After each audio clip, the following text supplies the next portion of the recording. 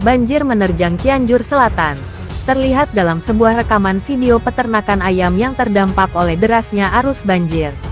Pemilik ayam histeris, tidak kuat menahan tangisnya ketika ratusan ayam miliknya terbawa oleh arus.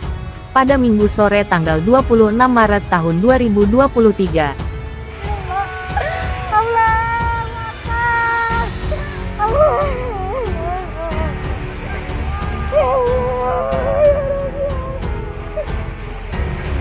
Allah!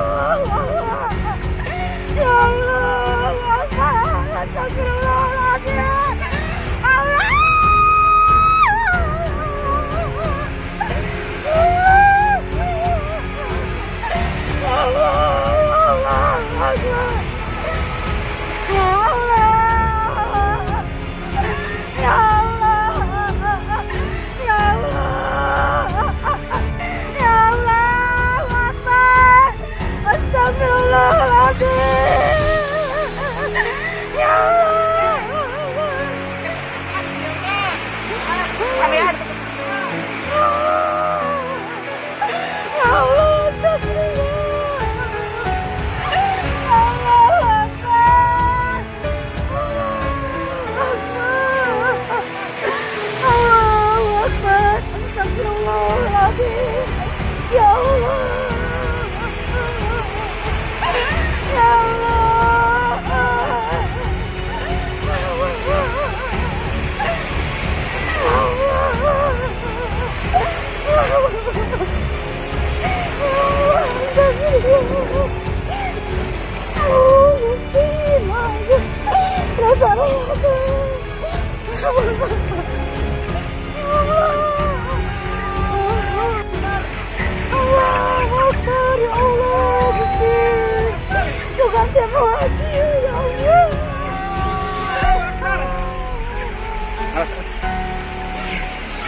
要我就是疼你，我我我我我疼。